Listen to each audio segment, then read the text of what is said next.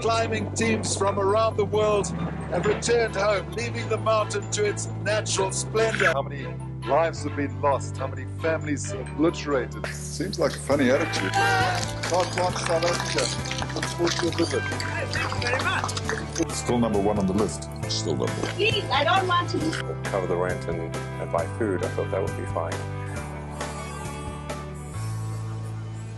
It's a perfect day for liftoff.